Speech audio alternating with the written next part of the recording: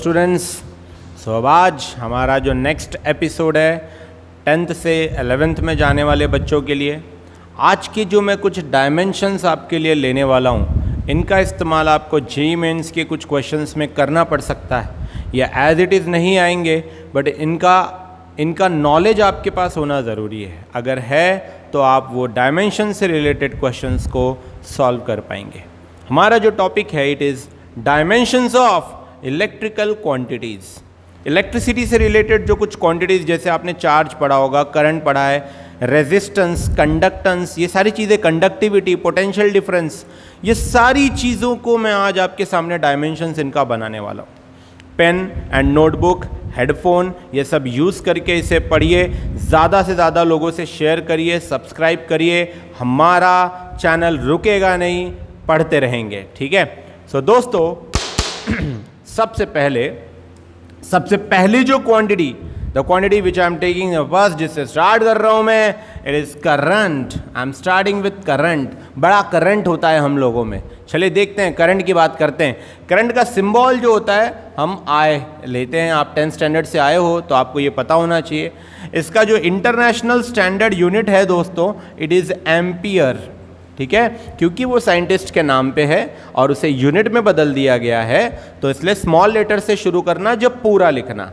अगर आप सिंबल की बात करें तो ए भी चलेगा, कैपिटल ए ठीक है? दोस्तों, आपको ये डायमेंशन समझने के पहले एपिसोड नंबर जो हमने जिसमें डायमेंशंस पढ़ा था, उस एपिसोड को ज़रूर देखिएगा, ठीक है? चलिए एपिसोड शायद वन में है या टू में है, जिसमें भी है, उसमें आप पढ़ लीजिएगा। करंट एक इंटरनेशनल स्टैंडर्ड यूनिट है आ, उसका इंटरनेशनल स्टैंडर्ड यूनिट एम्पियर है और दोस्तों मैंने आपको उस एपिसोड में बताया था कि it is a type of fundamental quantity मैंने फंडामेंटल क्वांटिटीज़ के कुछ सेवन टाइप्स आपको बताए थे जिसमें से एक था करंट तो करंट एक फंडामेंटल क्वांटिटी है। और इसका जो डायमेंशन होता है जैसे आप लेंथ के लिए लेते थे L1 अच्छा कई बच्चों ने मुझे होमवर्क भेजा है उन्होंने स्मॉल एल लिख के भेजा है। नहीं it is capital capital use करना है आपको और इस तरीके से ब्रैकेट्स रखने हैं। This are concentration brackets mass के लिए आपको क्या लेना है? मास के लिए आपको लेना है m m to the power one time के लिए t to the power one ठीक है?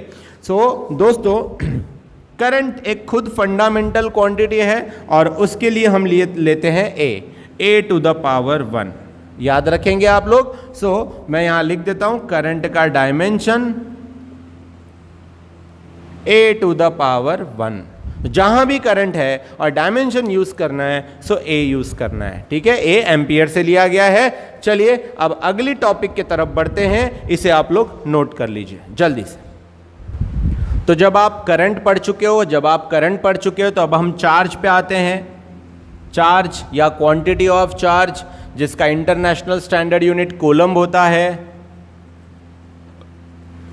ठीक है? सिंबल होता है सी और चार्ज का सिंबल होता है Q Q Q? Quantity of charge उसके यूनिट का सिंबल होता है सी तो दोस्तों, आपको एक फॉर्मूला क्लास टेंथ से पता होगा।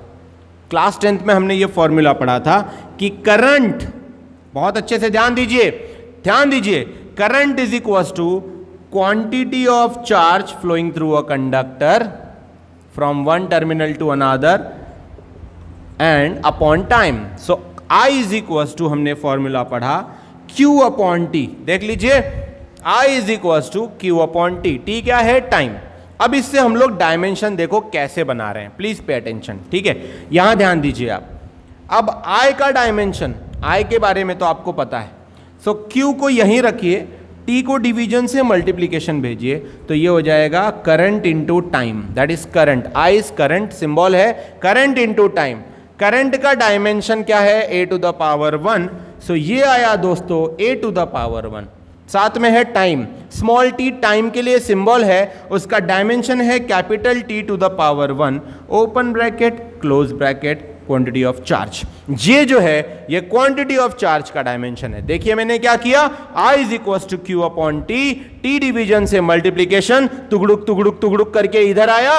I into T is equal to Q I current है dimension A to the power one small T time है dimension T to the power one open bracket close bracket और ये capital होना चाहिए. समझ गए?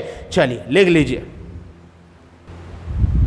अब दोस्तों, अगला टॉपिक पोटेंशियल डिफरेंस या तो वोल्टेज आप लोगों ने क्लास टेंथ में पढ़ा है, वैसे बहुत से बच्चे बिना पढ़े पास हो जाते हैं तो ध्यान दे यहाँ पे so voltage potential difference potential difference का जो फॉर्मूला होता है it is work done in moving a charge कोई भी चार्ज इन्फिनिटी से कहीं जब आप उसको मूव करा के लाते हो तो वो होता है पोटेंशियल डिफरेंस जब आप वर्क करते हो. So work done in moving a unit positive charge या quantity of charge quantity of charge अब दोस्तों इस फॉर्मूले से हम वोल्टेज का डायमेंशन बनाने जा रहे हैं ठीक है? So this is work done घबराओ नहीं टेंशन नहीं लेना है बस सॉल्व करना है देख के। मैं हूँ ना यार। सो so, देखो work done upon quantity of charge अब वर्क का एक फॉर्मूला याद करते हैं। Work is equal to force into displacement याद आया? आपको एपिसोड पहले वाला देखना चाहिए जिसमें मैंने सारे डायमेंशंस कराए work is equal to force into displacement force into displacement अब फोर्स मास इंटू एसिलरेशन पढ़ा चुका हूँ मैं आपको, और फोर्स का डायमेंशन आप डायरेक्टली लिख सकते हो। आप पीछे के अगर आप एपिसोड्स देखो तो आपको समझ में आ जाएगा। Force is equal to mass into acceleration okay इसका dimension L1 M1 T to the power minus two होता है। जिन बच्चों ने पिछला एपिसोड देखा है उनको ये समझ में आ जाएगा। अगर आप इस एपिसोड को आज देख रहे हो तो प्लीज़ पिछले एपिसोड को देखो फोर्स का डायमेंशन मैंने पढ़ाया हुआ है। सो so, फोर्स के लिए L1 M1 T to the power minus two into displacement L1 displacement L1 क्यों लिया सर डिस्प्लेसमेंट मतलब लंबाई लेंथ है ना? तो डिस्प्लेसमेंट एक टाइप का लेंथ है, इसलिए L to the power one अब L1 और L1 देख लीजिए, सबके बीच में मल्टीप्लीकेशन है। तो जो सेम होते हैं, उनका पावर ऐड हो जाता है। सो ये हो जाएगा L1 one plus one L और L1 ऐड हो जाएगा पावर ऐड हो जाएगा। आफ्टर दैट आएगा M1 T to the power minus two सागर किनारे। वर्क पुकारे, देखिए वन प्लस वन टू हो जाएगा। So this is L two M one T to the power minus two dish क्या ये किसका डायमेंशन हुआ अभी तक दोस्तों? सिर्फ़ और सिर्फ़ वर्क का। फोर्स इंटू डिस्प्लेसमेंट फोर्स का डायमेंशन पिछले एपिसोड में है। Into L one okay L one L one one plus one L two M one T to the power minus two वर्ग का डायमेंशन हुआ। सो so, वर्ग का डायमेंशन यहाँ ले लेते हैं। वर्ग के जगह पे बताइए। L two M one T to the power minus two upon quantity of charge quantity of charge just इसके पहले आपको मैंने पढ़ाया है ए वन टी वन पढ़ाया है?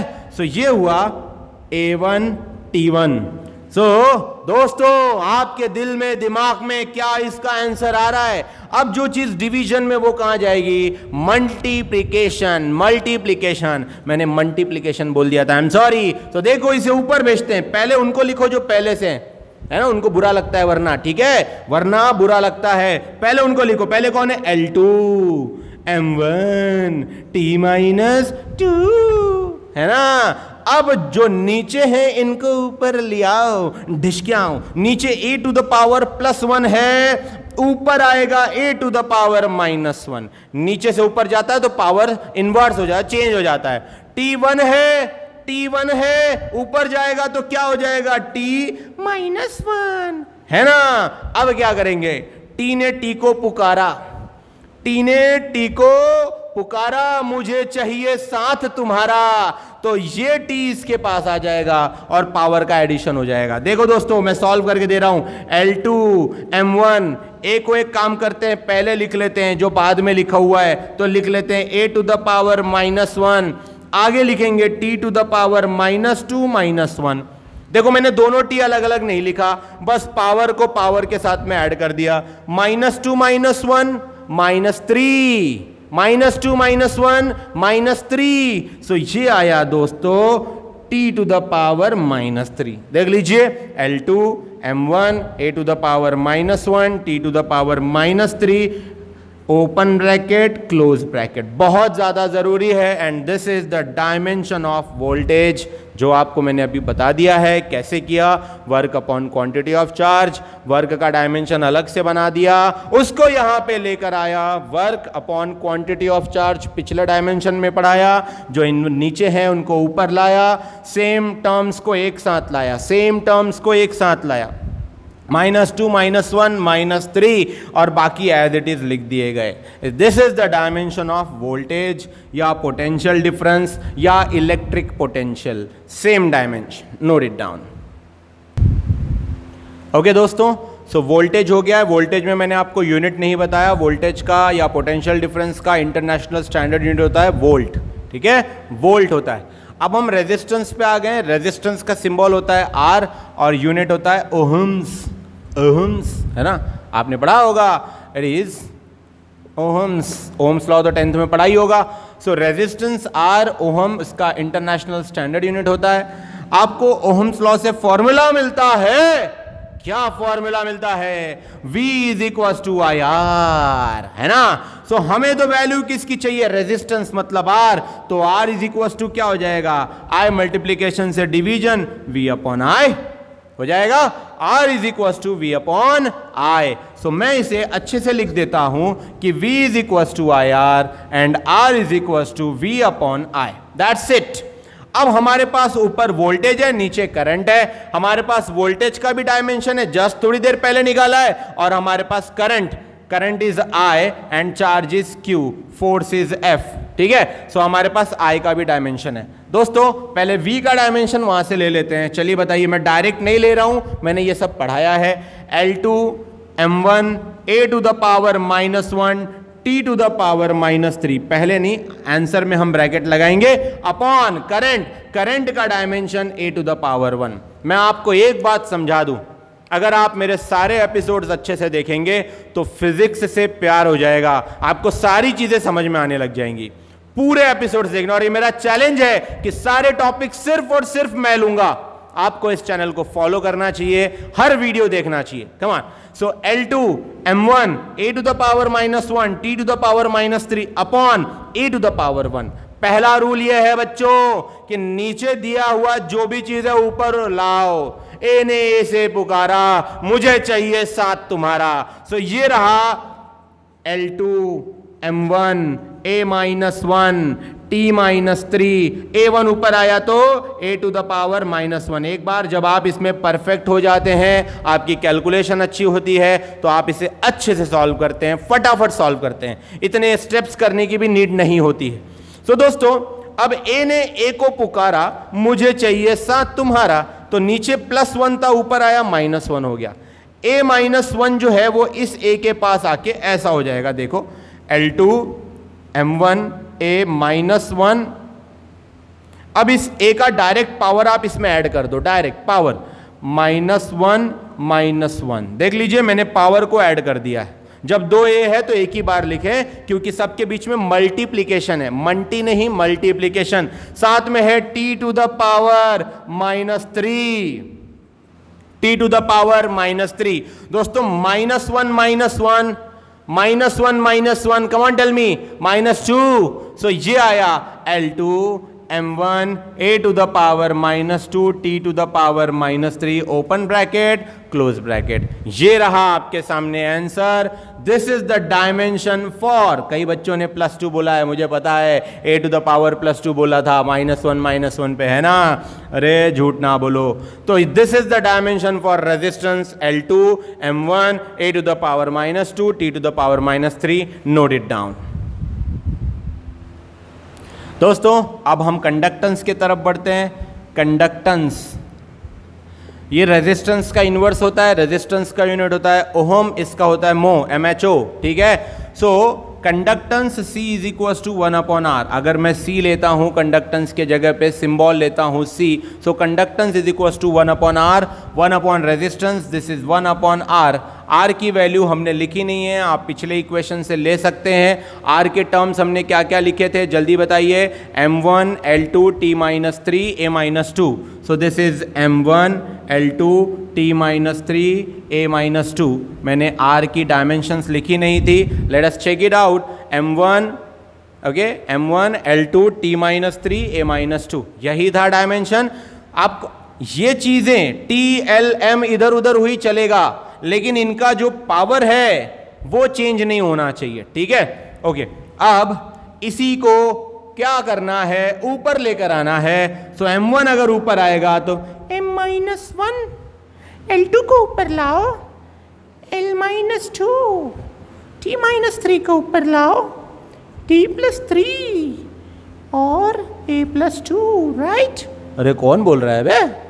यहाँ कोई भूत आ चुका है दोस्तों. M minus one L minus two T three और A two this is the dimension for conductance याद रहे आपको अब रेजिस्टिविटी एंड कंडक्टिविटी को समझेंगे ठीक है? उसके पहले आप लोग इसे अच्छे से नोट डाउन कर लीजिए। चलिए। दोस्तों अब आप लोग रेजिस्टेंस पढ़ चुके हो लेंथ पता है एरिया पता है। हम रेजिस्टिविटी देख लेते हैं। रेजिस्टिविटी सो so, रेजिस्टिविटी क्या होती है? रो से डिनोट किया जाता है। जितने मेरे स्टूडेंट स्टूडेंट्स हैं, मैंने उनको बताया था, रो को क्या कहते थे, हम फ़िलहाल यहाँ नहीं बोलूँगा मैं।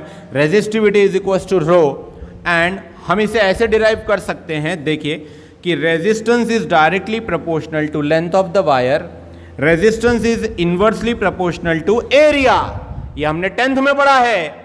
दोनों को कंबाइन करेंगे is proportional directly to length inversely to area directly to length inversely to area so R is equal to rho proportional हटा के इज़ इक्वल टू लगाओगे तो कांस्टेंट आएगा rho L upon area R is equal to rho into L upon area और ये जो रो है, ये कांस्टेंट है और यही है रेजिस्टिविटी अब ये दसवीं में था यार टेंथ में था, इसलिए थोड़ा मैंने फिर से बता दिया है।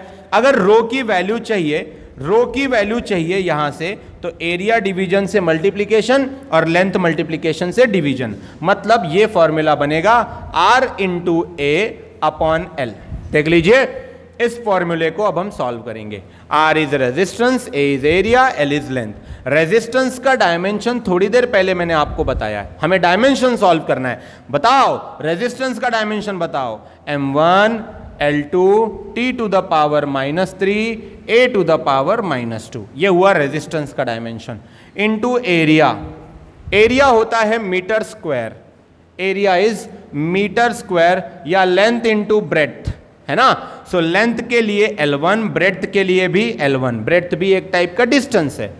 L ने L को पुकारा मुझे चाहिए सात तुम्हारा. One plus one two so L to the power two तो एरिया का डायमेंशन एल टू ये भी मैंने पिछले एपिसोड्स में पढ़ा रखा है जो नए विजिटर्स हैं उनके लिए बता रहा हूँ मैं। तो देखो सो so, यहाँ पर आया area L to the power two upon नीचे है length L to the power one दोस्तों कितना सिंपल हो गया है अब। बस अब हमें इस एल को ऊपर लेके जाना है या आप चाहें तो कैंसिल कर सकते हैं ठीक है? सो ये हुआ अगला स्टेप अगले स्टेप में ये L1 ऊपर ले जाता हूँ into L to the power minus one नीचे था L to the power one ऊपर जाके L to the power minus one L ने एल से पुकारा, मुझे चाहिए सात तुम्हारा टू माइनस वन वन तो ये बचा वन अभी एल खत्म नहीं हुआ है, यहाँ भी एक एल है। देखिए आप सो हम इसे मिटा के यहाँ रो लिख देंगे। पूरी स्टेप अच्छे से बता रहा हूँ। फिर से एल ने एल को पुकारा, मुझे चाहिए सात तुम्हारा पावर तुम्हारा। तो ये हो गया एम वन पहले सबको लिख लो। T minus three A minus two न, इन चीज़ों को क्वांटिटीज को इधर उधर करोगे, चलेगा, पर उनके पावर को चेंज मत करना। देखो M one T minus three A minus two okay अब ये एल को इस एल के साथ लिख देता हूँ। L two into L one बस पावर लिख लीजिए सो टू प्लस वन उसका पावर साथ में लिख दिया। Two plus one three so ये हो गया two plus one three rho open bracket और क्लोज ब्रैकेट। बनाना बहुत ज़रूरी है। अगर आप सिर्फ़ ओपन ब्रैकेट बनाएँगे, क्लोज ब्रैकेट नहीं बनाएँगे तो वो तो भाग जाएगा, है ना? उसे बंद कर दीजिए। सर, ये तो उड़ी भी मार सकते हैं। नहीं बेटा, ये जंप नहीं कर करते। जैसा बोलू, उतना सुनो। So this is rho M one T minus three A minus two L three that's resistivity अब आपके लिए मेरे पास एक गिफ्ट है। एक प्राइज है। गिफ्ट समझिए, सरप्राइज़ समझिए, जो भी समझिए। आपको मैं एक प्रॉब्लम होमवर्क में दे रहा हूँ, है ना? और प्लीज़ उसे सॉल्व करके मेरे व्हाट्सअप नंबर पे भेजिए या कमेंट्स में भेजिए। रो, ये रेजिस्टिविटी है। अब आपको कंडक्टिविटी फाइंड करना है। कंडक्टिविटी कंडक्टिविटी सिग्मा से डिनोट करते हैं। सिग्मा, कौन सी माँ? सिग्मा, आज मदर्स डे है। सबकी माताओं को मेरा प्रणाम है। देखिए, और मेरी माता को भी मेरा प्रणाम है। Sigma is one upon resistivity. One upon resistivity. So one upon rho. Sigma is equal to one upon rho. Resistivity मैंने क्या पढ़ाया था? रो पढ़ाया था। और रो का डायमेंशन ये रहा आपके सामने। बस आप वन अपॉन करिए और फिर इन्वर्स कर दीजिए, सबका पावर चेंज हो जाएगा। बोलो, भारत माता की जय।